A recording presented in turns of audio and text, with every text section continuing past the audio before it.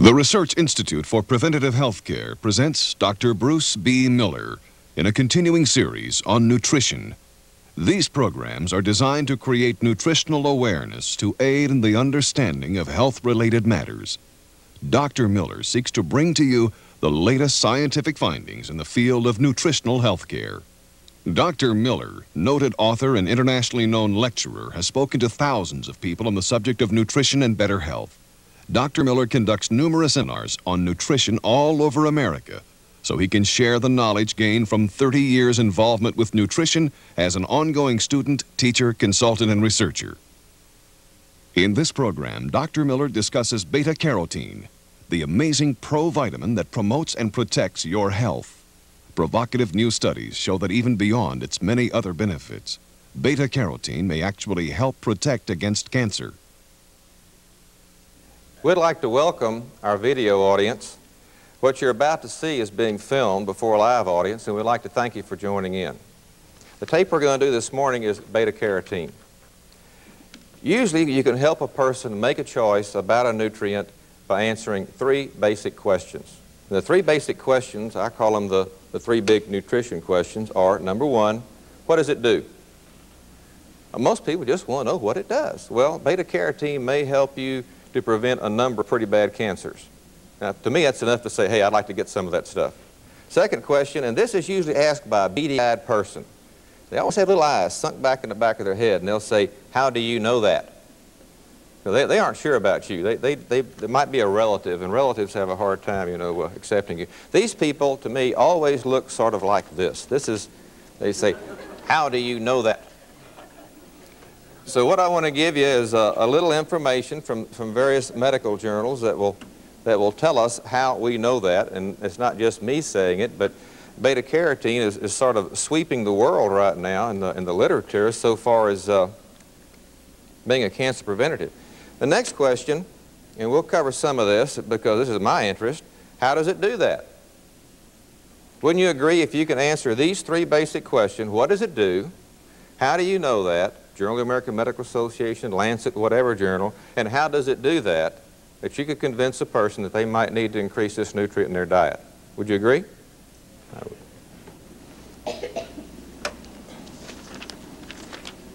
Probably the most terrifying words that I could ever hear, and perhaps you'll agree with this, are, Bruce, the results are positive. The test was positive. You have cancer.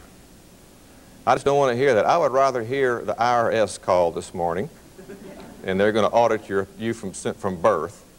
Um, or the 60 Minutes van just pulled up outside to film your life.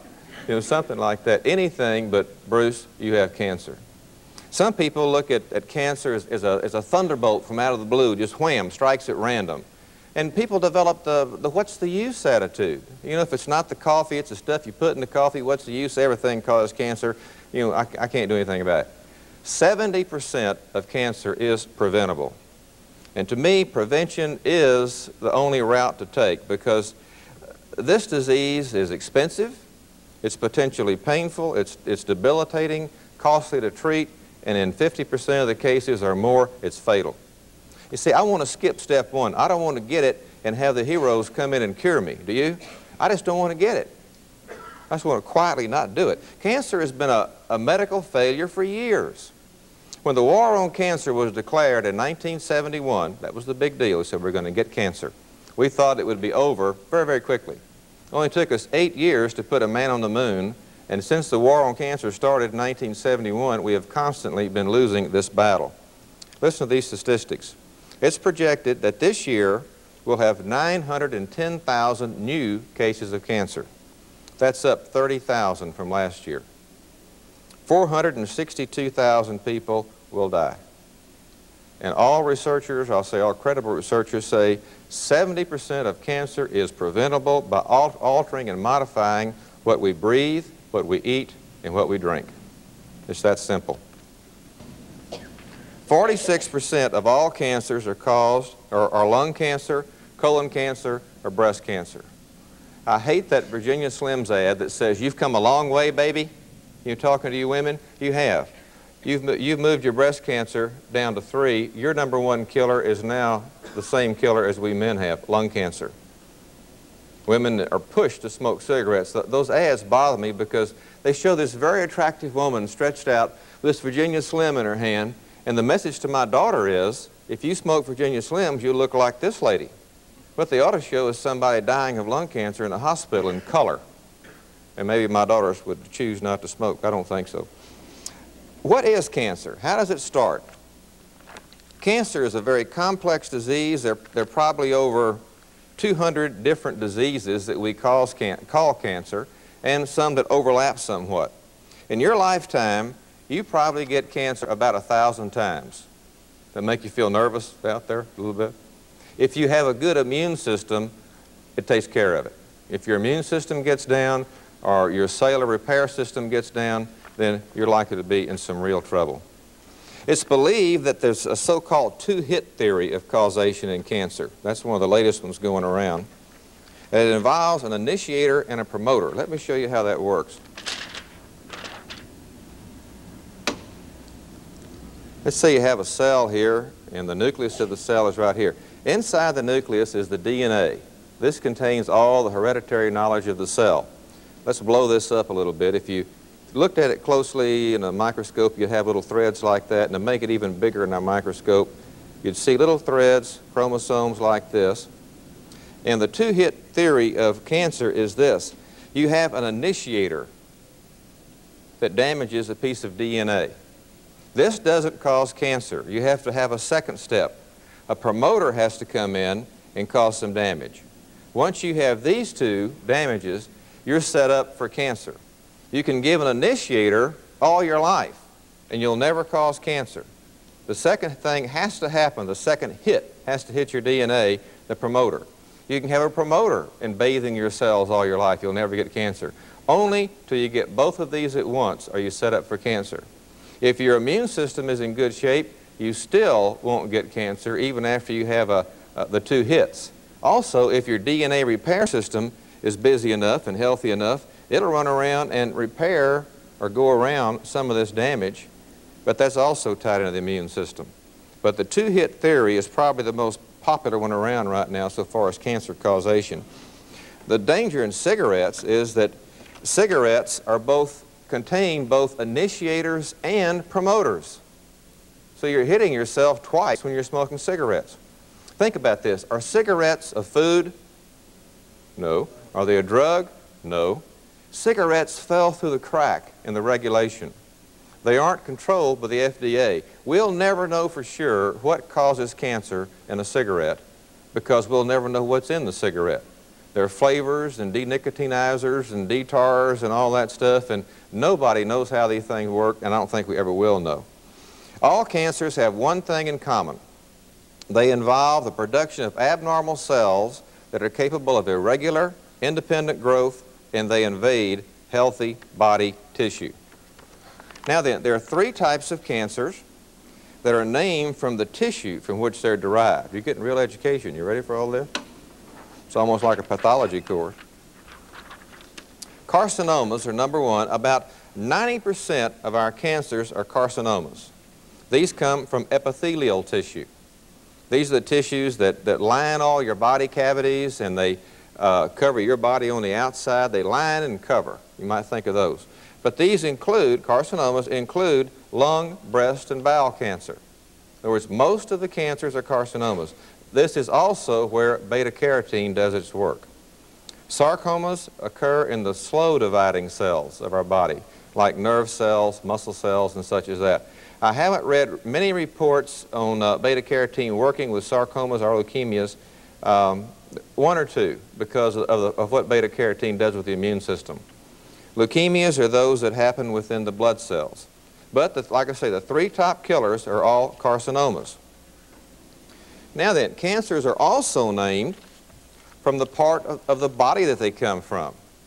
You can have lung cancer, bladder cancer, and so on. And to complicate this even more, there are other types of lung cancer. We call them all lung cancers. Um, you can have small cell lung cancer, large cell lung cancer, adenocarcinoma of the lung, uh, bronchiogenic carcinoma of the lung, and so on. We call them all lung cancers. I went through this complicated stuff to give you a little education on it, but also to show you that it is a complicated disease. I'll get a call sometime and someone will say, Bruce, uh, I've got cancer. What should I do? Well, my gosh, I, I, don't, have, I don't have any idea. What kind do you have? Uh, it's kind that kills you. Well, I'd, I'd got to get ready to go on out then. I don't know. There, there, there are too many factors involved to give snap decisions on, on cancer. But like I say, lung cancer is the number one killer. The good news is this is where all the evidence that shows that beta-carotene does its best work. I feel we should supplement our diet with beta-carotene because our tastes have changed so much or our tastes have been changed by the industry. Television, principally. You know, we, we've, we've completely changed our taste since about the 1900s. Uh, maybe you can, maybe, uh, let's play a game. Let's see if you can finish up uh, the commercial I'm going to give you. You ready? Things go better with Coke. Now, how'd you know that? You were pounded with it. If things go better with Coke, that means if my little redheaded daughter, who's weird, has a bad day, she can come home and knock back a six-pack and feel better. Things will go better. Of course, she might get diabetes or her teeth might fall out. Double your pleasure, double your fun with Doublemint chewing gum. So if you want to double your fun today, get your mouth full of gum and start chewing on it. Have a blank and a smile. Coke, you got it. Blank tastes good like a cigarette should. Winston, isn't that amazing? We are totally brainwashed by the advertising industry. Have you ever noticed if someone asks you what's for dinner or what's for lunch, you always name the meat dish? Isn't that interesting? What's for lunch? Roast. What's for lunch? Steak. They ask around my house, what's for lunch? Stir-fry vegetables. What? Say what? Back in the 1900s, most of our diet came from fresh foods, fresh fruits, vegetables, and grain. The only canned food was home canned. I used to love to watch my mother can. It smelled good, and then I just loved to watch her do it. Making jelly was fun. We used to get Mustang grapes in South Texas, and her hands would turn purple when she was squeezing the grape juice out. That was fun to watch, my mother with purple hands. Today, over 80% of our diets are processed in some way. And every step of processing reduces the nutrient value of your, of your diet. In the early days, we ate for energy, for nutrition. Today, we eat for pleasure, for recreation. We're always looking for the new taste treat, listening to the commercials, uh, Twinkies and Bonkers and all these things that are constantly being thrown at us. As a rule, our diets don't contain a large volume of those vegetables that contain a lot of beta-carotene. Here they are. Squash, carrots, spinach, red cabbage, turnip greens, collards, all number one on, on the list of a kid's favorite foods, right? I mean, my, my kids just always want collards. So Go to your local fast food store and ask for a McCollard and see what you get. There's almost nothing in any of the fast, fast food places that uh, offer any beta-carotene whatsoever. And it's difficult to get people to go back to eating greens and collards and red cabbage and this sort of thing. I just don't think we are. Let me give you some discussion from the National Cancer Institute. By the way, NCI has been against nutrition as a, as a use in cancer prevention since its inception almost. They received over 325 papers since 1981, good, solid, valid papers supporting the fact that beta-carotene can be of a great aid in a number of cancers. Dr. Michael Sporn, National Cancer Institute, proposes that vitamin A and substances chemically related to vitamin A, such as beta-carotene, can make important contributions to, get this, the prevention of cancer. More than half of all human cancer starts in epithelial tissue. Epithelial tissue forms a lining of organs and glands such as mammary glands, skin, passages of the body, lungs, gut, bladder, reproductive organs, all are lined with epithelial tissue. Those are carcinomas, remember? 90% of our cancers are in those tissues I just named. They're all lined with epithelium. That's where the carcinomas come from. Epithelial tissue depends on vitamin A or beta-carotene for its normal development. Without significant vitamin A, these cells often undergo precancerous changes. We'll talk about cell differentiation in just a few minutes. Laboratory studies demonstrate that animals deficient in vitamin A or beta-carotene have increased vulnerability to cancer-causing chemicals. And when I think about our toxic environment and what, how we breathe and what we drink and what we eat, I want something that will protect me against cancer-causing chemicals. National Cancer Institute is saying beta-carotene or vitamin A will do it. Vitamin A protects animals given such chemicals from stomach, lung, respiratory, and uterine cancer. A recent study of over 8,000 Norwegian men demonstrated a diet adequate in vitamin A significantly reduces a smoker's chances of developing lung cancer.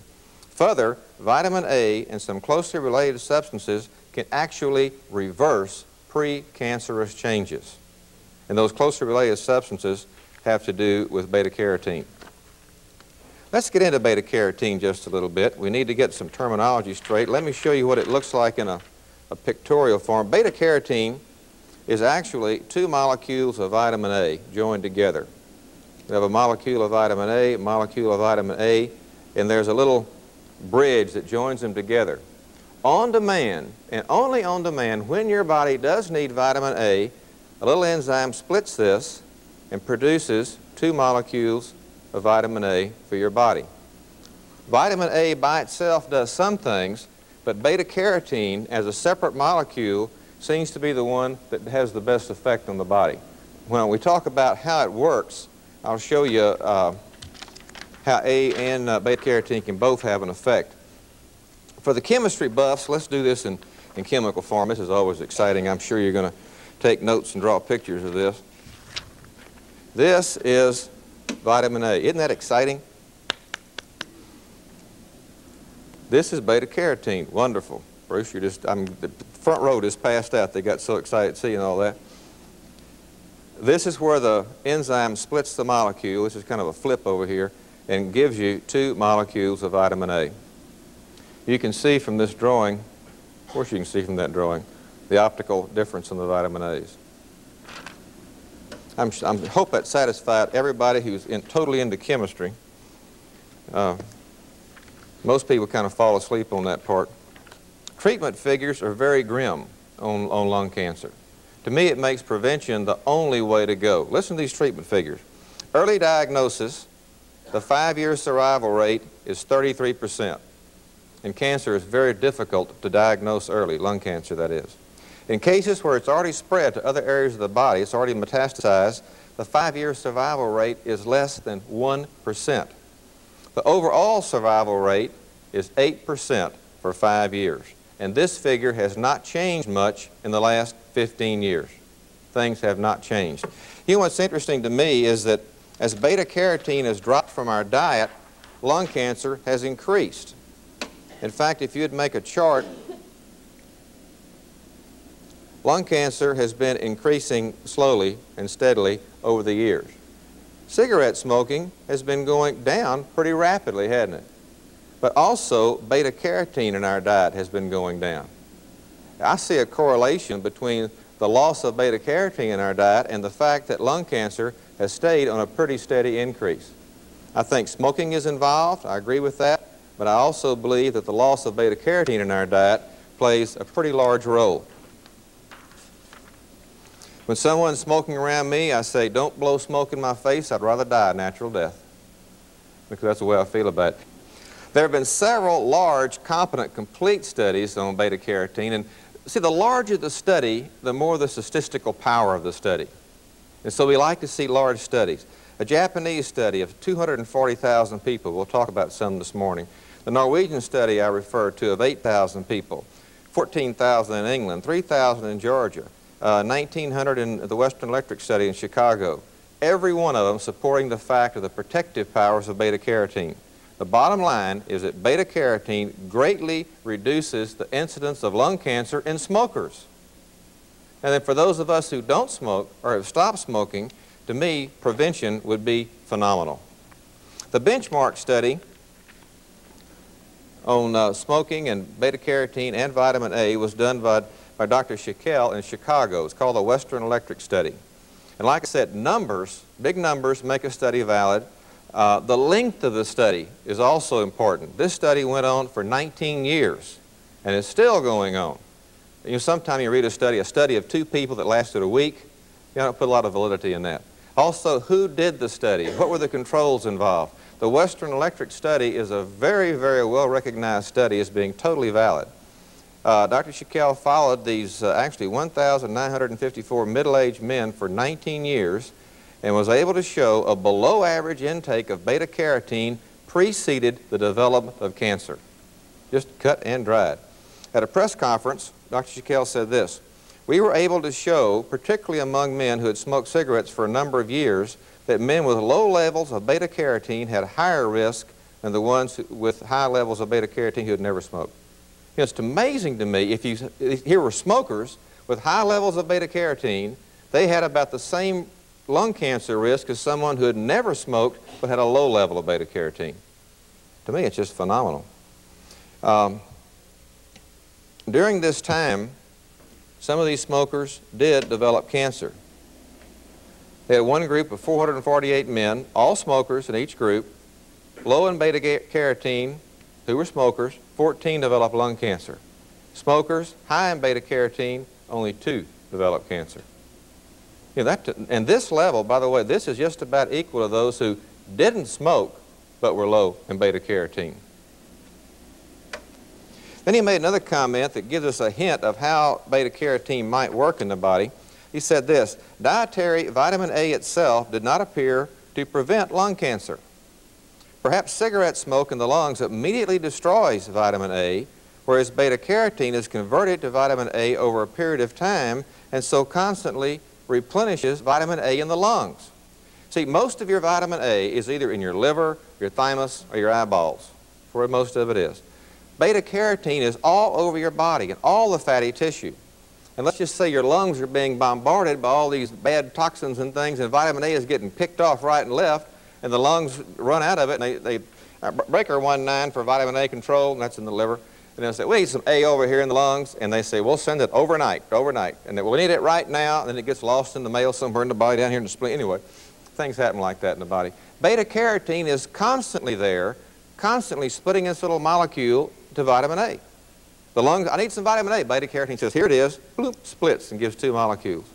I think that's one way it works. Beta carotene itself constantly furnishing vitamin A to the lungs to protect them. Anyway, with all these studies, there was finally an, an effect, I call it the trickle-down effect sometime in research.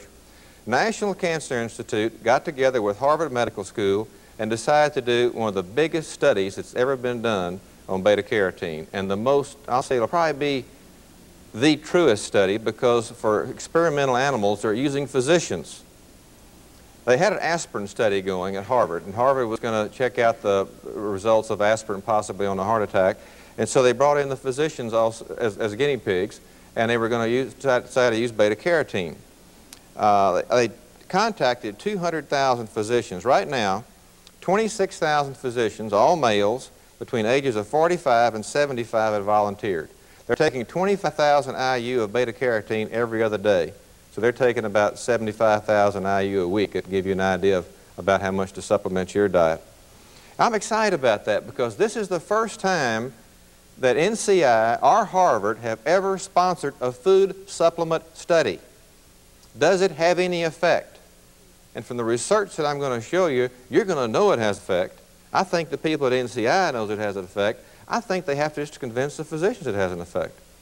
And I think when this study comes out, probably in two years it'll be published, I believe the ramifications for the food supplement people are going to be phenomenal. But if they see one that works, I think they're going to say, hey, what else will work?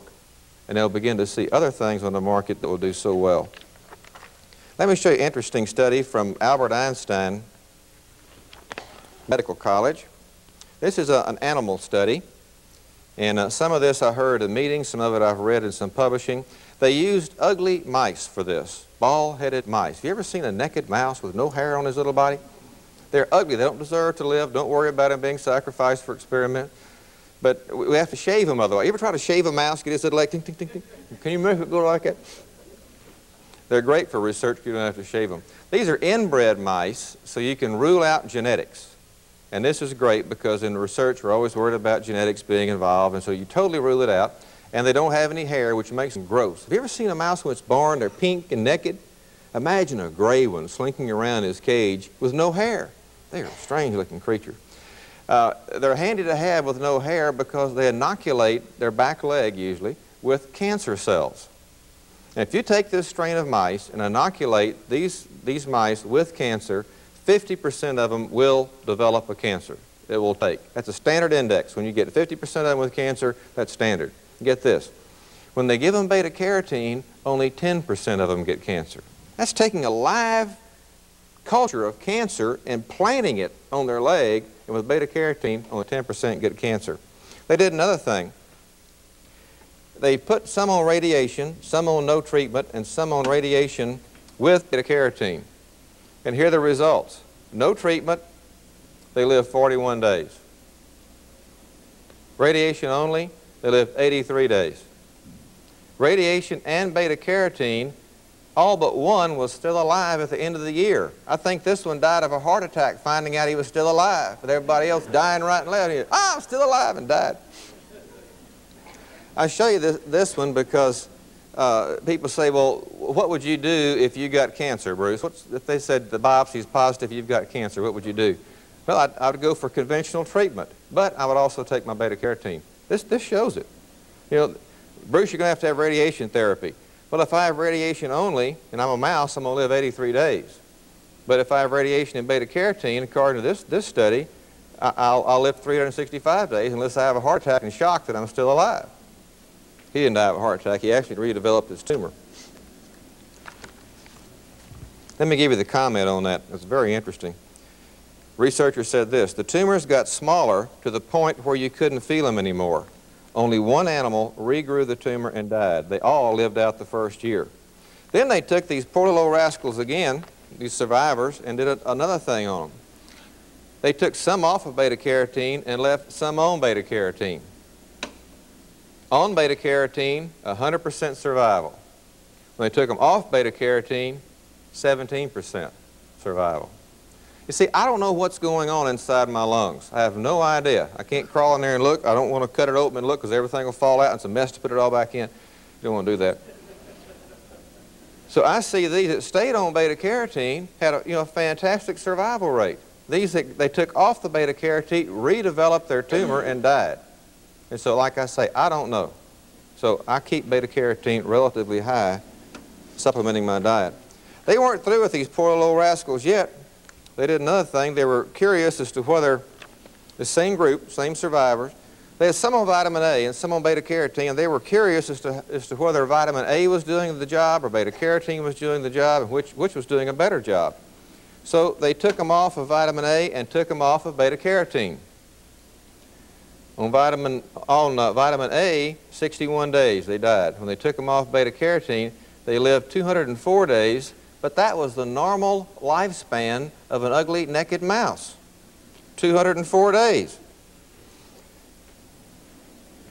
In fact, here was the comment even after developing a lethal cancer twice, they managed to survive 654 days, the natural lifespan of a mouse, with a good quality of life.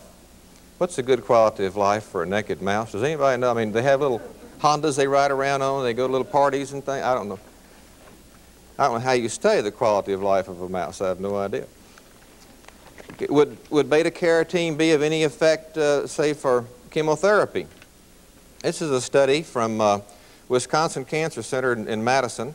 They had 37 women scheduled for chemotherapy, and they did study on their vitamin A levels. And here are the results. Low in vitamin A, 36% improved. High in vitamin A, 83% improved. Low in vitamin A, 40% got worse. High in vitamin A, 0% got worse. So suppose my beautiful wife were diagnosed with, uh, this to be a breast cancer study, with breast cancer. What would I do? I would say, Jody, we're going for conventional therapy, but you're going to have a nice tan when you go in. I'd give her quite a bit of beta-carotene to go in because these studies show that if you're high in those levels, even if you're undergoing conventional therapy, that you seem to get better results.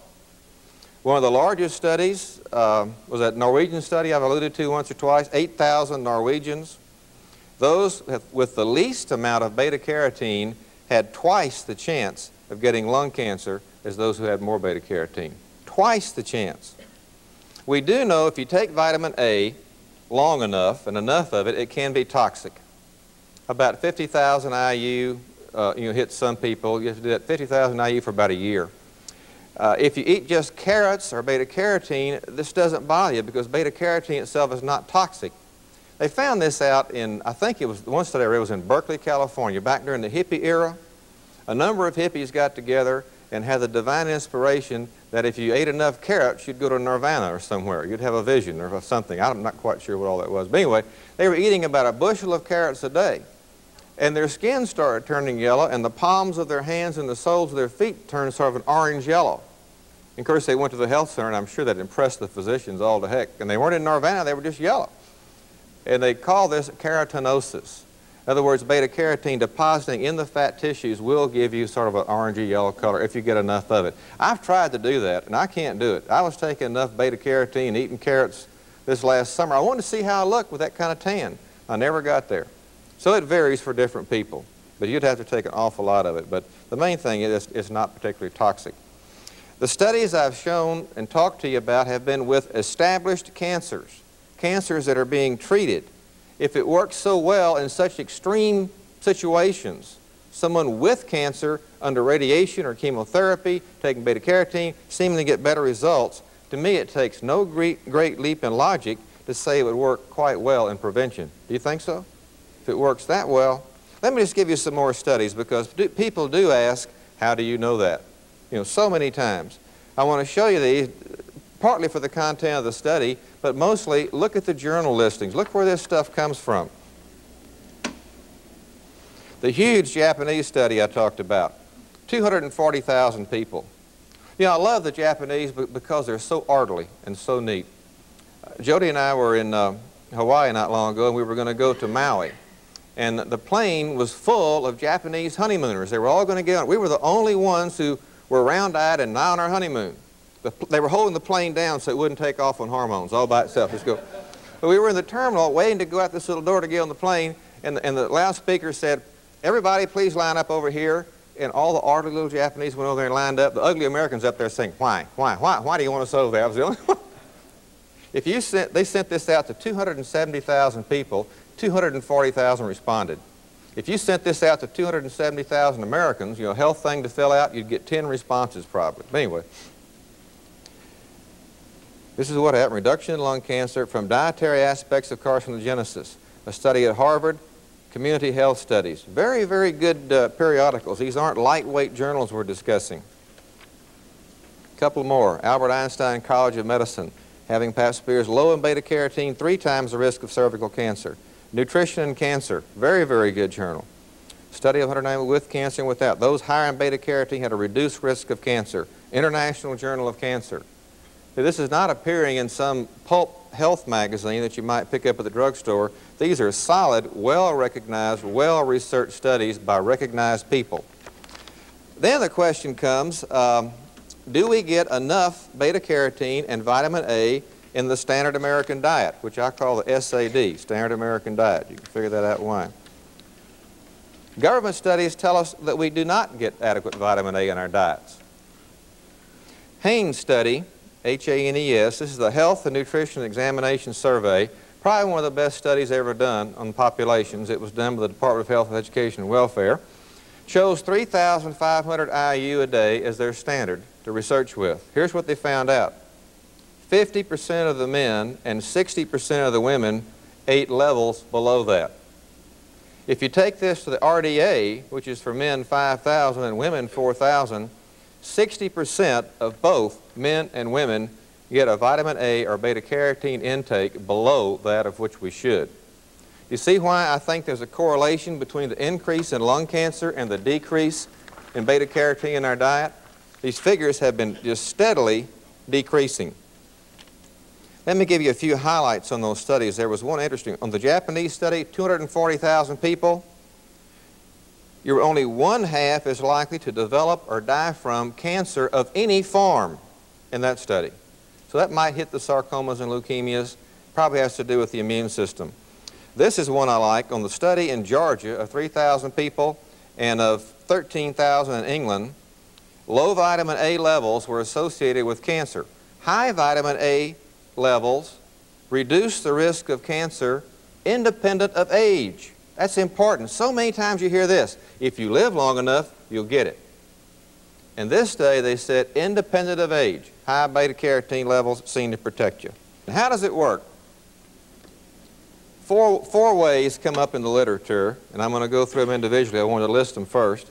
As an antioxidant, tissue development theory, the immune system theory, and skin defense theory. I call these all theories because they've never been totally proven. We do know it works. Now, how does it work? I think it's a combination of all these. And as I, as I develop them, I'll show you why. Antioxidants, or oxidants themselves, are difficult to explain because they're, they're very, very uh, complex chemical molecules. Think of an oxidant particle or a free radical loose in your body like a, about a 50-pound bowling ball loose in a china shop going about 60 miles an hour. And splat. You know, something's going to happen. It's going to cause some damage. There's a very dangerous free radical called singlet oxygen.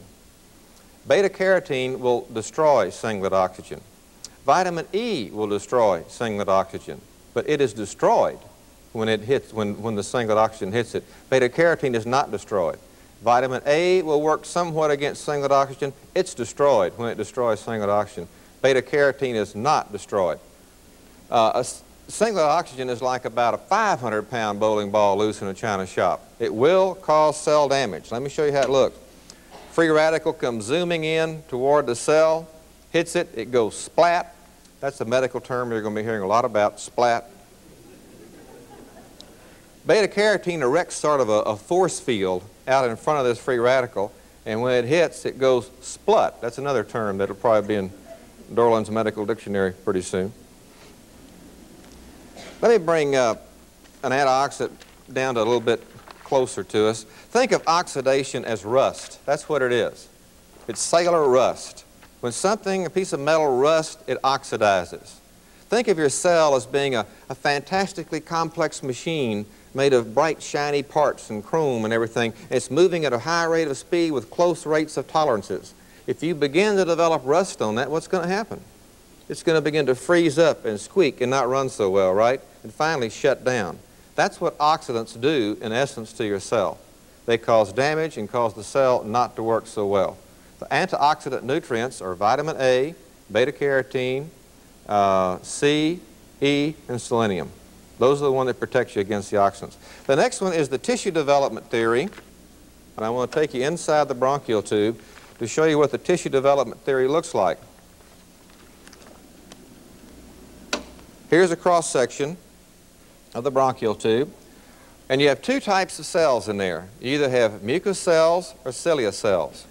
The mucus cells secrete, secrete mucus along the lining, and there's actually a, kind of a river of mucus on these cells and the cilia are little hair-like particles that constantly sweep the current of the river up toward the back of your throat. So if you have dust and other particles on this mucus level, it's always going to the back of your throat. When it gets there, what you do with it depends on how you were raised. And that's up to you what you want to do with it. I, I don't want to get into how you were raised, and I know what Texans do with it, and it's kind of gross.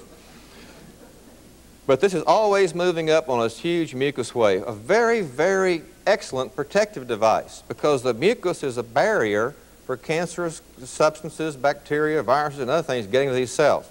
Now then, pre-cells are formed in the basement membrane and they are not differentiated. They, are, they haven't changed into either a mucus cell or a cilia cell. They're supposed to become one of the two. Vitamin A directs the development of this cell. Beta-carotene will too. It needs to be directed in the way it's going to go. Without vitamin A, let me show you what can happen. And this is, I think, extremely prevalent in our lives today.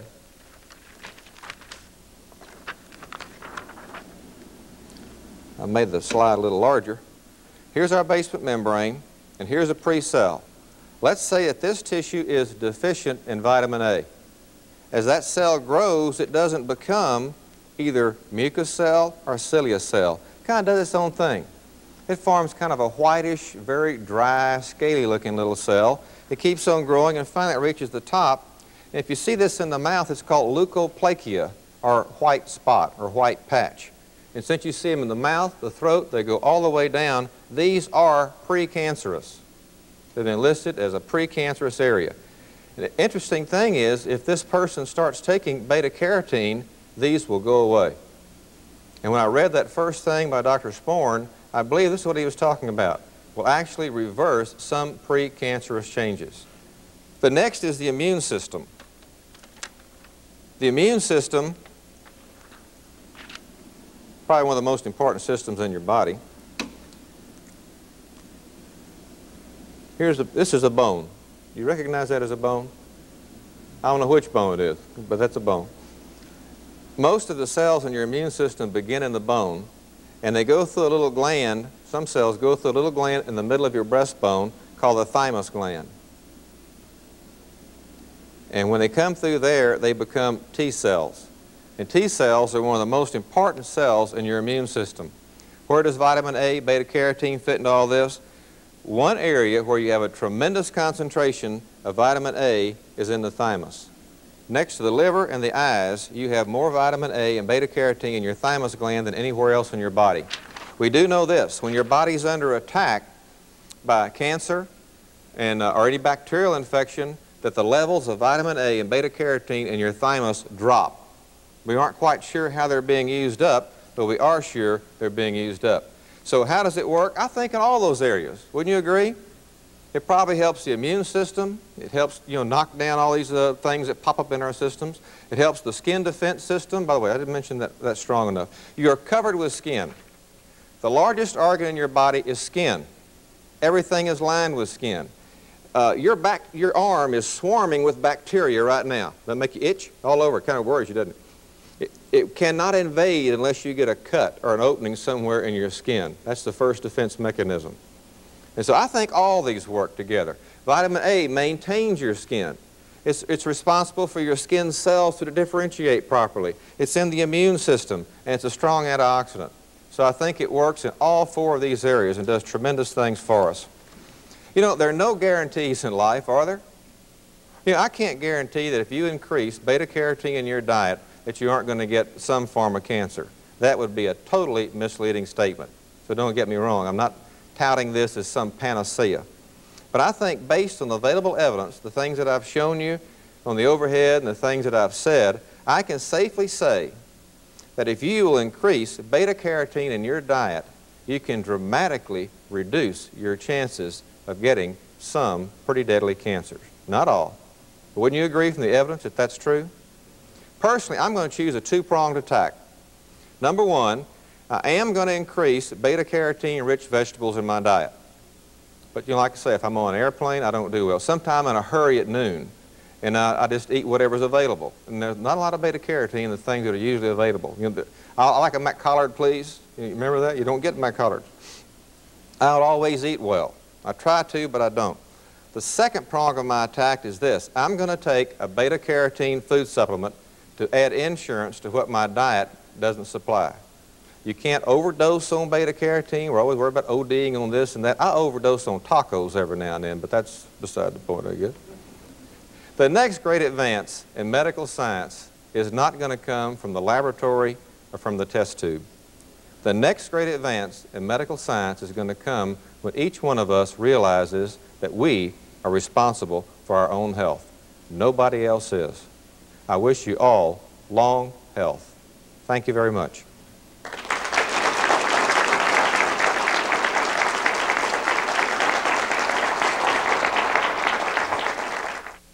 For more information about Dr. Miller's books, videos, nutritional materials, and seminars, please write Bruce Miller Enterprises Incorporated, P.O. Box 50296, Fort Worth, Texas 76105, or call 817 536 8248.